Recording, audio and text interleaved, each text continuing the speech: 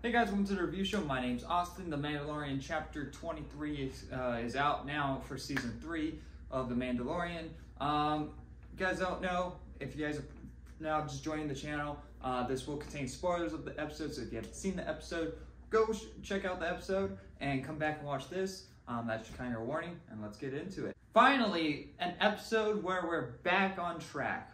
And finally, a great fucking episode. This episode was so fucking good but it's fucking too late. it's it's it's it's too late for this. Like I don't. This should have been like episode four or five.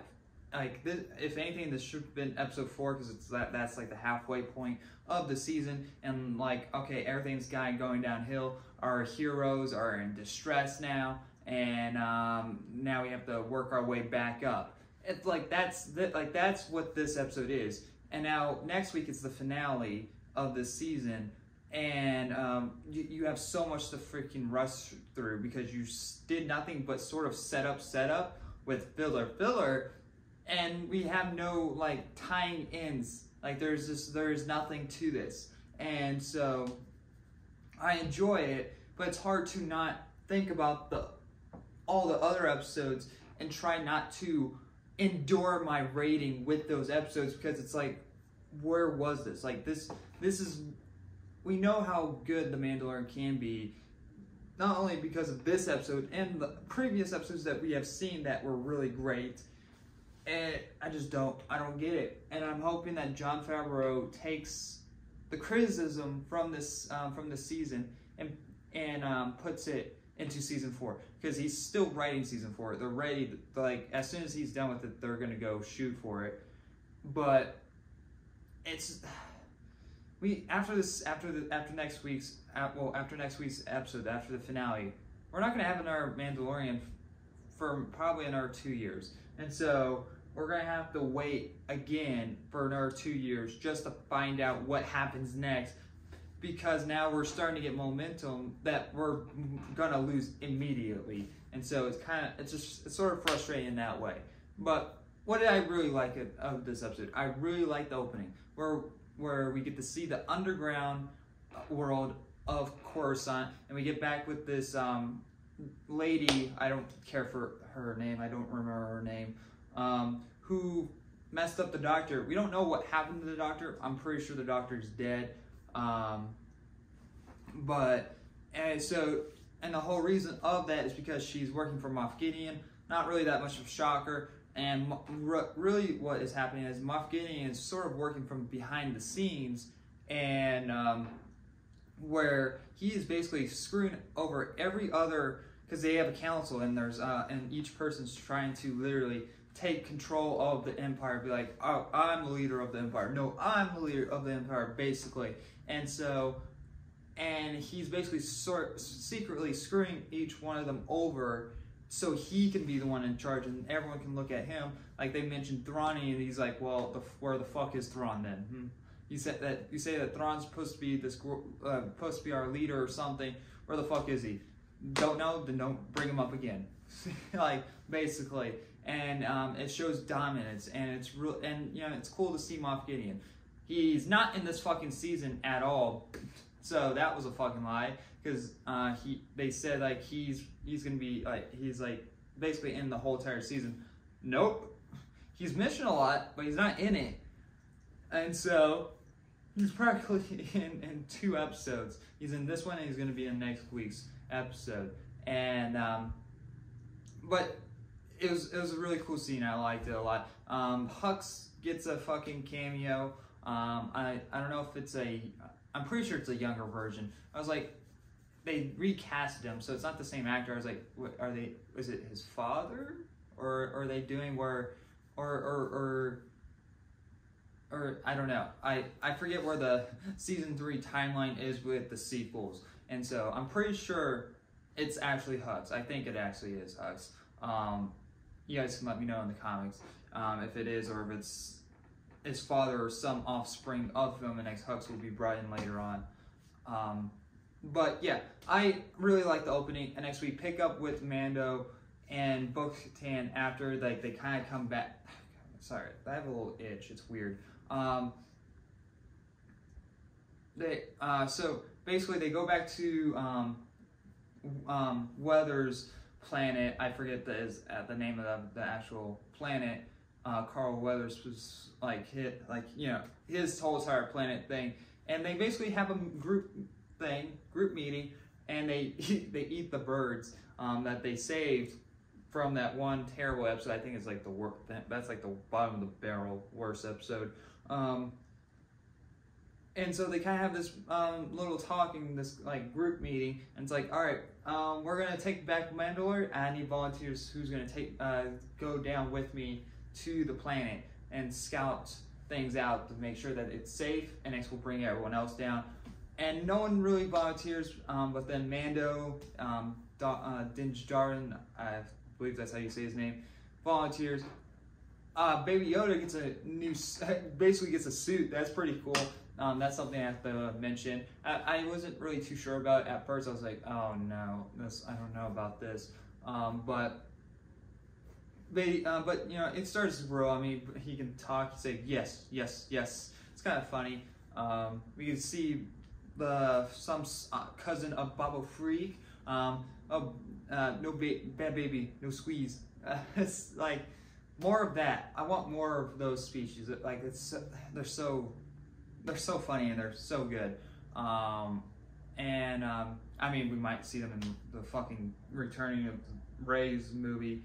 Fucking uh, yeah, Star Wars Celebration and a lot of stuff happened, and I never really talk about. So yeah, well, we'll we'll get to that when the movie comes out. So that'll be an interesting um, review, that's for sure.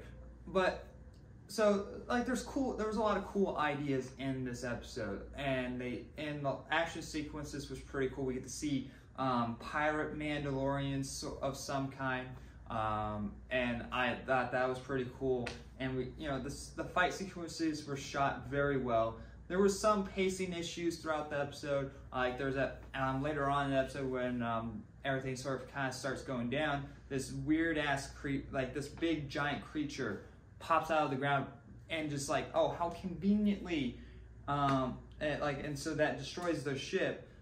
And next they have to go into the cave. Like, oh, we need to go down deeper. It's like, why? Why do we need to go?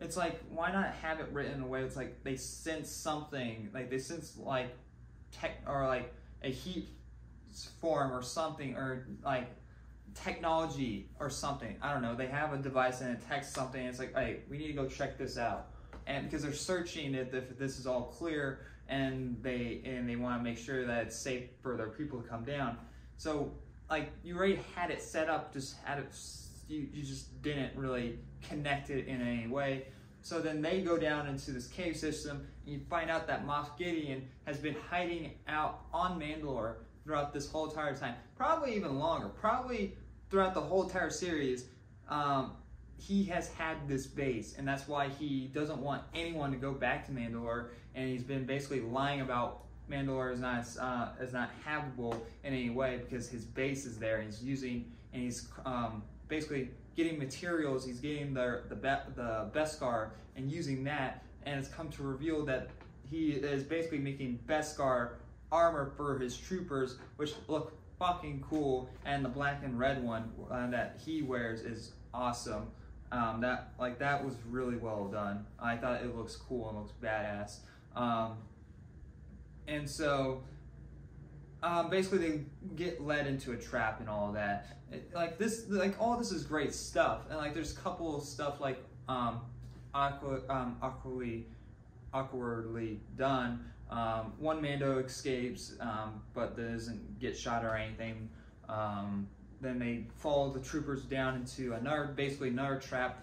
Mando gets captured. Uh, Din Djarin, Din Djarin, I saying his name completely wrong. Gets basically captured, um, and um, and this is kind of where the episode sort of tanks a little bit for me. Um, basically, uh, Jon Favreau's like when everyone's basically like, "Hey, fucking, we need to get the fuck out of here," basically.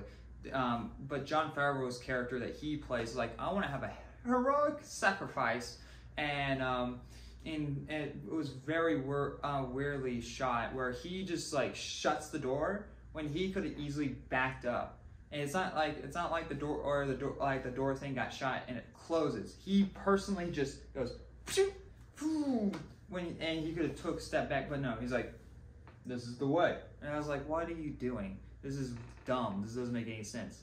Um, it's like you could have filmed it in a better way where he got shot in the leg or something. Like he was gonna close, he was gonna close the door, and next he was going to go in uh, and like go basically get oh um, get under it before the door closes, but then he gets shot in the leg or something, and next that stops him from doing that. Like or uh, or you know someone shoots the button by uh, and destroys it, but the door also closed. That's been a Star Wars thing before. Um, but it, it, it's just like clearly shown like he uh, wanted to make his character a big sacrifice. He defeats the most of the stormtroopers, and next the red um, guards come out, which are basically from um, some. I think they're sort of from Return of the Jedi, but they're mostly of the guards that were in the Last Jedi, which were pretty cool. And they just basically come in and destroy him easily. Like they, like he, he just dies pretty well because he has his gun overheated.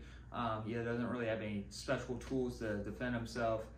Um, but yeah, really great episode. Um, we learned how Bo-Katan loses the dark saber. He, she gave it to got Moff Gideon because she because um, she basically trusted that his word that he would leave the Mandalorians alone. He would leave Mandalore alone. But then but then that was a lie, and so he basically killed it, um, destroyed Mandalore anyways, and so that's why that, that's how she lost it. So that was a nice explanation for it. Um, but yeah, the ending really that couple maybe a couple scenes and pacing issues in the ending is what hurt this episode really. Better than the previous one. Uh, I better than the Jack Black cameo. Um, and the old guy was uh, Christopher Lloyd. I forgot to mention that.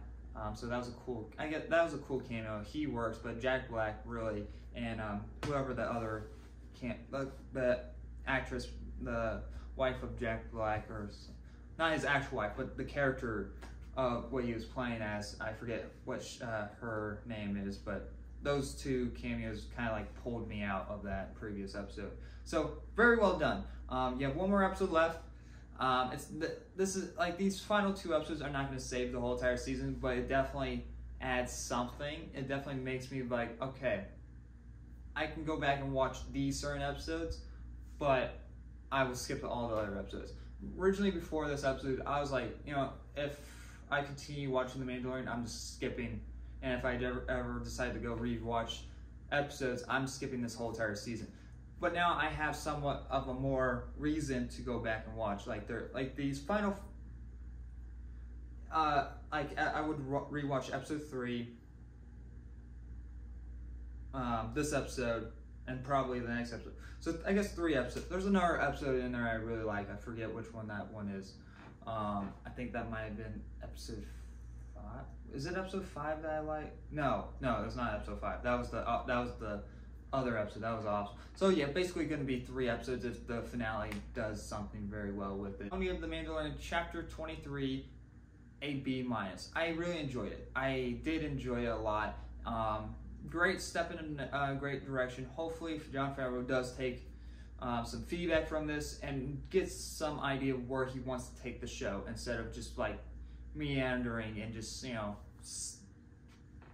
hoping it sticks or something. Um, but yeah. Anyway, guys, thanks for watching. Like always, I'll see you guys in the next review. Bye, guys.